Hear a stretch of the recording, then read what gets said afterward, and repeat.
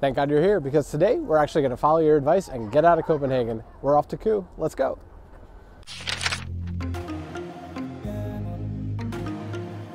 You guys always tell us to get out and see more of Denmark, so we started looking for places to visit in Denmark beyond Copenhagen. As you know, we love Danish culture, history, and beer, so we decided to check out Køge, the seaside town at the end of the E train. Come along as we discover the lager, the witch, and the warship, and explore Denmark beyond Copenhagen in Køge.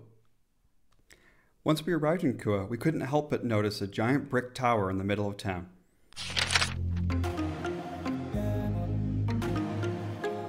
Standing in the middle of Køge is St. Nicolai's Church. This is one of the oldest buildings in Køge, and the church dates back to 1250 AD.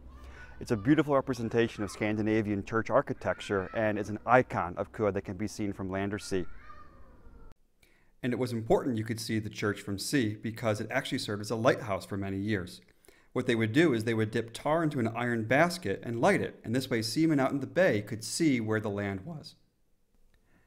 But St. Nicolai's Church isn't the only centuries old building in Køge.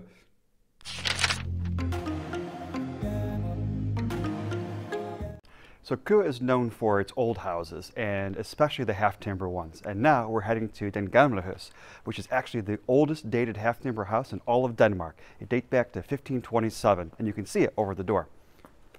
The old house is also a small house. It only has a size of about 24 square meters, or 250 square feet. It got a 10 square meter extension in the 1700s, making it a little bit bigger than that. In 1908, the house was actually condemned to be demolished, but it was saved at the last minute by the National Museum in Copenhagen. And as small as it is, in the 1880s, a family with 10 children actually lived here. Today, it's part of the Children's Library. You've probably seen timber houses like this all over Europe, or at least in postcards and photographs. But one of the reasons they're so popular, and they were so popular in the Middle Ages, is because you could pick them up and basically take them to another destination. They were like the IKEA of the Middle Ages. The timber frames look cute and they're very pretty now, but they were easy to take apart, dismantle, and, well, move on to another location. And that's part of the reason why you see so many here still standing today.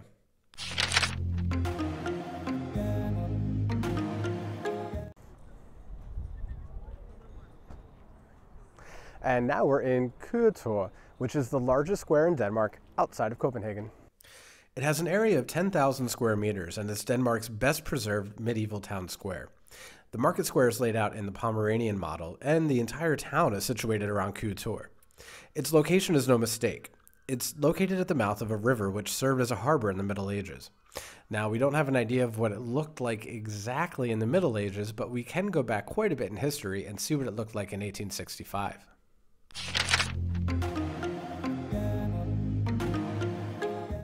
Okay, we are now at Køge Miniby, which is a miniature replica of the city from the year 1865. So we're going to walk around and get to see a lot of the buildings that are still standing because Køge is one of Denmark's best preserved merchant cities. And they've done a fantastic job of preserving what the city looked like, again, back in the year 1865. So let's go check it out. This impressive attraction is made possible by the work of 140 volunteers that have been working for over 30 years. St. Nicolai's Church alone took eight years to build. Each structure is assembled with hand cut bricks and pieces that are made one tenth the actual size. All aspects of Køge's Miniby are designed with help from architects and archives provided by Køge Museum. It's even been visited by Queen Margrethe II, who cut a few bricks herself. We were given a small tour inside the workspace by Lily, one of the many volunteers at Køge's Miniby.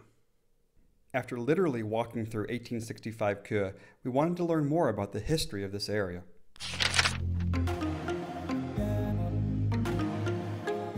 A highlight of Køge is the Køge Museum.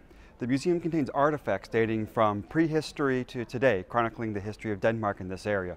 One of the highlights is a mass grave that was excavated just a few miles south of here that dates back to more than 6000 BC. This grave shows that there was actually an advanced society here even millennia ago. These people are buried with a purpose, and based on their orientation and the gifts in the tomb, they had rituals and ceremony tied with death. The museum also focuses on other rituals up to the modern day. One of the key activities the museum participates in is an excavation of a nearby Viking settlement discovered in 2014 and there's also displays of coins and clothing that show different periods of Danish history.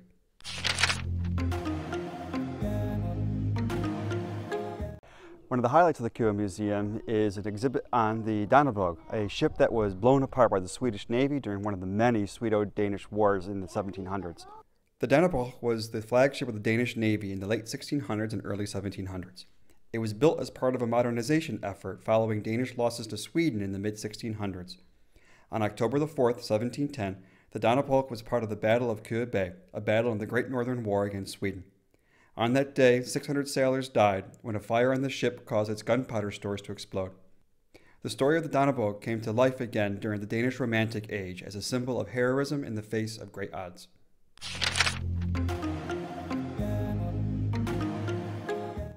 Okay, now we're going to go check out the KØS Museum, which is a museum dedicated to art in public spaces. Let's go.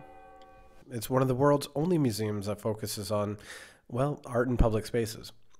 One of the museum's highlights is Tapestry Hall. It displays one to one sketches that artist Nørgaard designed for the Queen herself.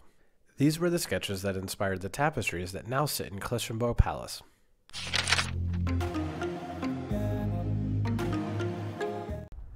The yellow building behind me may not look that old, but it actually dates back to the 1500s.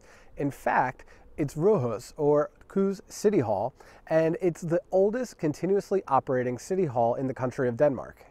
So while it has that distinction, there's something a little bit more interesting about the building, and that's because it was the site of Denmark's most famous witch trials, the Køge Huskors.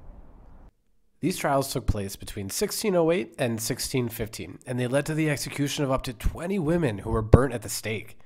It began in 1608 as just simple rumors, and soon accusations of sorcery began to fly around the city. In 1612, a wealthy merchant named Hans Bartskær accused Johanna Toms of having sent Satan into his house. To the court, he claimed that the devil had been present in his house for four years. In 1608, his wife Anna had heard the sound of a hen one night. They had seen the devil in various shapes in the house. One of their maids became sick, and no one wanted to sleep over anymore. During the trial, several witnesses confessed about accidents that had taken place after arguments with Johanna. She was described as verbal and courageous. Must be a witch, right? She eventually confessed and pointed out four other women. One of them, named Meta, confessed to having met the devil in the shape of a rat. The maid of Johanna, named Kirsten, said that Johanna had made her urinate in the baptismal bowl at church, and for this Kirsten was burnt. Another woman, Anika, pointed out five women before she was burnt, and after this, seven more were burned at the stake between 1613 and 1615. Another two killed themselves, one in prison and one when she heard that she was going to be arrested. This sad part of Køge's history is memorialized with a plaque just outside of Køge Torv, and you can see it here. With all this crazy witchcraft, we needed to escape this history and return to the nature that defines Køge.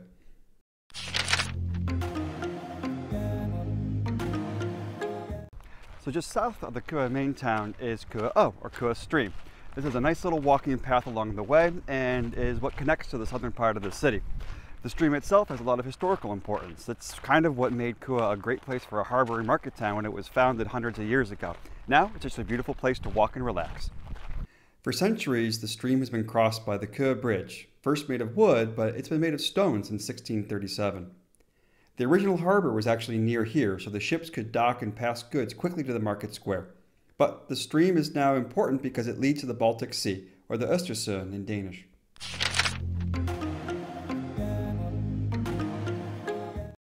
Køge is defined by the sea.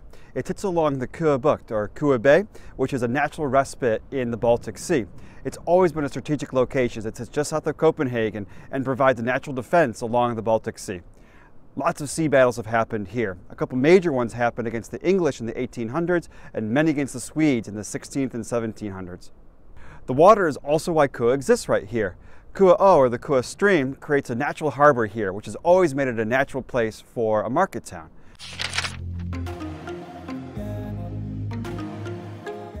This natural harbor turned into a real harbor in 1411.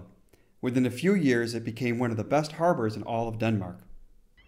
So the heart of Køge is the Køge Harbor. The harbor is why Køge exists in the first place. Since its establishment as a market town, Køge Harbor has been the connection between Køge the town and the rest of the world. In fact, the motto of the city is Porten til Østersøen, which means the gateway to the Baltic Sea. And Køge still is that way, as the harbor is still a major center for all kinds of traffic going out to ports all over the world.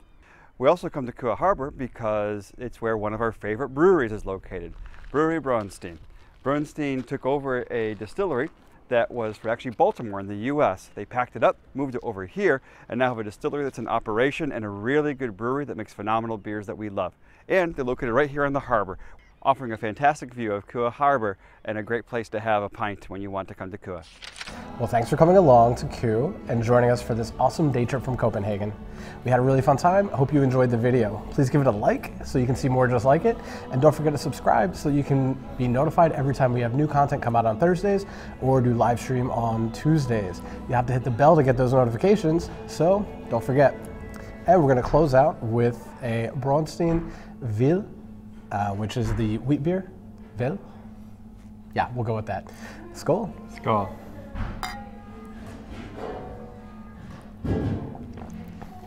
It's good.